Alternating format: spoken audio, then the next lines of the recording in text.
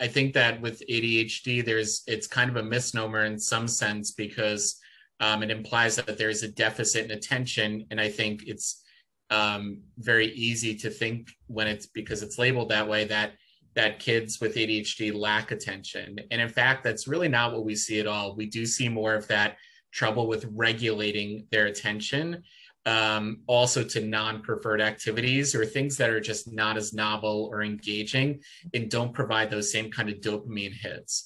Um, and so that kids with adhd might be great at those legos or preferred interest video games things that really um, press on that dopamine lever a bit and also are just inherently engaging to them. But when it comes to things that are more tedious more boring or things that are just not of high interest, it does become a lot harder for them to focus and pay attention.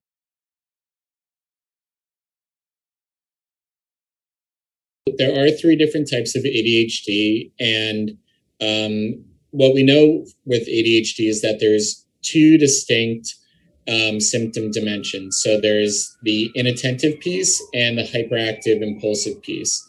And so within ADHD, under that umbrella, there are three subtypes. So there's the ADHD inattentive subtype, which is what we used to call ADD. Um, there's the ADHD hyperactive and impulsive subtype. Um, and finally, there's the combination of both, which is the ADHD combined presentation. Um, and there's actually um, a fourth potential presentation uh, called sluggish cognitive tempo, um, which seems to be a syndrome that um, is similar to ADHD inattentive type, but a little bit different. And what we tend to see in these kids and adults is it involves more of slow processing of information, um, a lot of excessive daydreaminess, um, poor retrieval um, when it comes to information from memory, and also more difficulty staying alert, especially in situations that are a little more tedious or not as novel or engaging.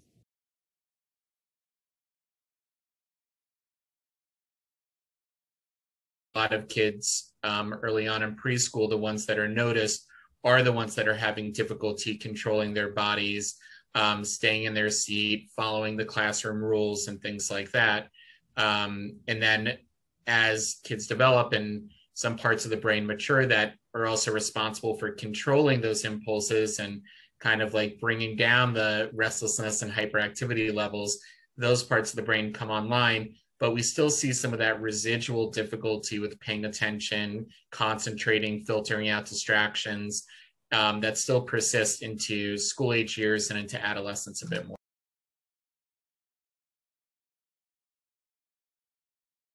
Whereas, you know, in boys, we see more of that hyperactivity and impulsivity. And in girls, we see more of those inattentive symptoms mm-hmm. um, and some of the more, um, I guess, organization and planning difficulties because of those executive functioning challenges.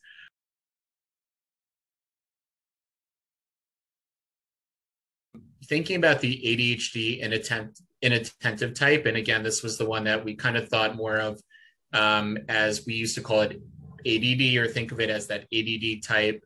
We often see difficulties with paying attention, um, frequent daydreaminess, um, being able to concentrate for extended period of times can be challenging.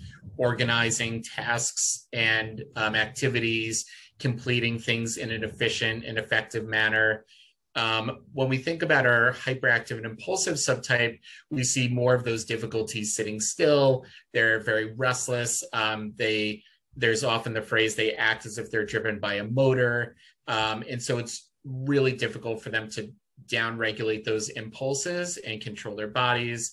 Um, they're also they can be verbally impulsive at times, meaning that they might interrupt when another person's speaking, or they might blurt things out in class because it's like the first thought that enters their mind. They need to share with others, and it's hard for them to kind of put that filter in place.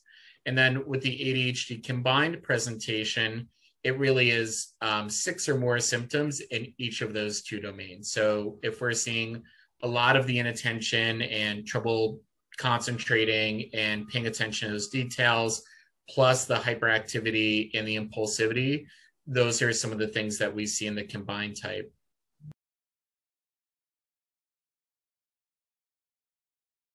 I think as the field of ADHD research continues, we're seeing that um, it really is characterized more as a self regulation disorder. Um, as Joel Nigg, who's a great researcher um, at the University of Oregon, calls it. And it really is true. Like we see these kids not only have trouble regulating um, their concentration and attention and planning and organization skills, but the emotional and behavior dysregulation that comes along with ADHD and those symptoms seems to be pretty consistent across the board. Um, and along those lines, we do see a lot of kids with ADHD struggle with those other executive functioning skills. So being able to think flexibly, step back and see the big picture in a situation, shift their attention or their um, their focus from one thing to the next, um, realizing how their behavior can come off to others, filtering out their distractions, um, planning and using forethought to think ahead of a situation to generate effective strategies. So those are the other pieces that I think um, we see really cut across the condition mm-hmm. that also are definitely worthy of attention too.